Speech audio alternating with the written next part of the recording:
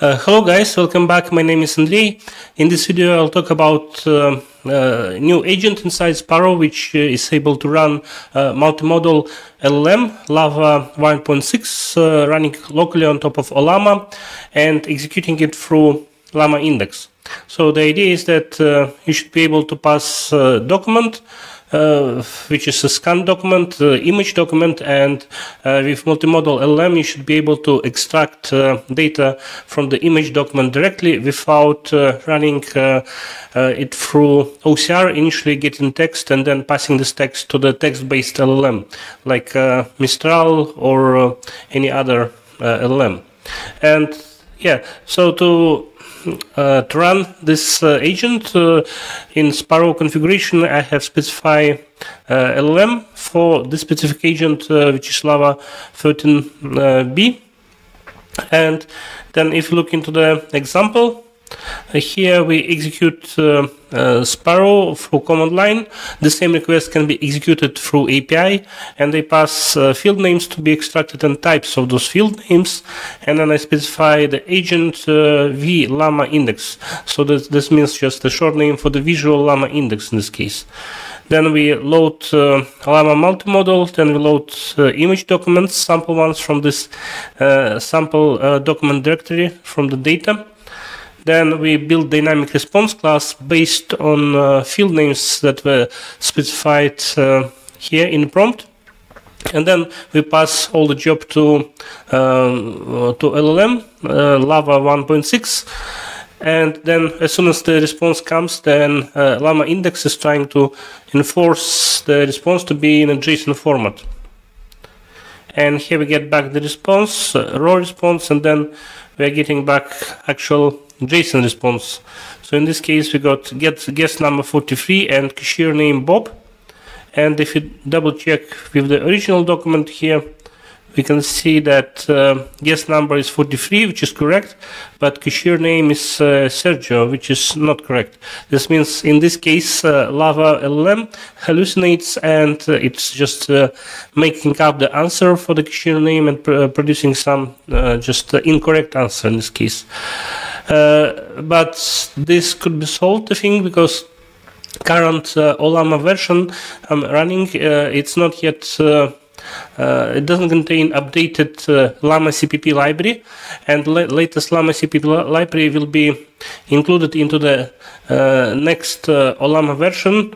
And with this new Llama CPP library, it seems like, based on what I saw reported on GitHub, the execution of the Llama and responses of the Llama uh, LLM should be much better quality. So we'll, we'll, test it out then. But in any case, the uh, pipeline and this agent uh, works already. So as soon as the better or fixed implementation is available, we can instantly test it out. Okay, and if you look for the code, so all the code is inside single script, vllama index.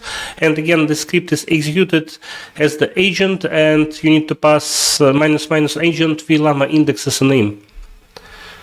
And here we have the uh, class that extends from the Sparrow interface and then we implement abstract method run pipeline here, pass the all the standard inputs like a query, for example. So the query will be constructed in this case uh, from the field names, and it will say retrieve uh, these field names from the document, and this is how LM will try to fetch the values and the types uh, type names will be used to build dynamic pydantic class and we'll use this dynamic pydantic class to inform uh, LlamaIndex how to structure the output so that we would uh, expect to get structured json output. Okay so uh, if look the actual agent pipeline implementation. So in the first step, we using uh, Ollama multimodal. This is the LlamaIndex implementation, which can work with uh, local Ollama models uh, running um, uh, multimodal LLMs like LLaVA, for example. Then in the next step, we load sample images here, and then we build the dynamic uh, pydantic class with the uh, types that uh, and field names that we would expect to be returned returned in the response. Then there's a template for LlamaIndex which says that please return the answer as a pydantic object as uh, we provide and actually we provide this Pydantic schema as a dynamic class in this case.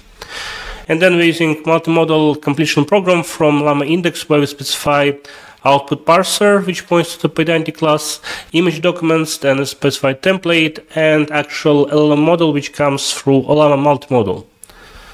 And through that program, we uh, we execute the program and we pass the actual query, the question that we want to retrieve, and then we get, get back the response.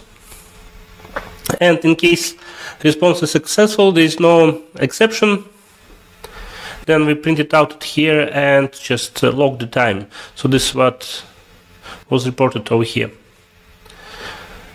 And yeah, so that's it. And this is the quite straightforward thanks to LlamaIndex.